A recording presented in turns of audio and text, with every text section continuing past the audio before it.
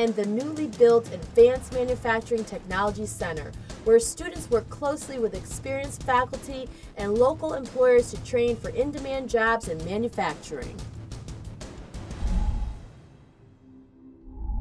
My name is Jack Davis. I'm a second year student at Naugatuck Valley, and I was working in the printing business for 30 years and found myself out of work because many of the companies that I was working for were being monopolized by larger companies. And that's when I realized that I had to reinvent myself and I enrolled at Naugatuck Valley in their advanced manufacturing program. Coming back to school has inspired me and I've really enjoyed some of the classes that I've taken.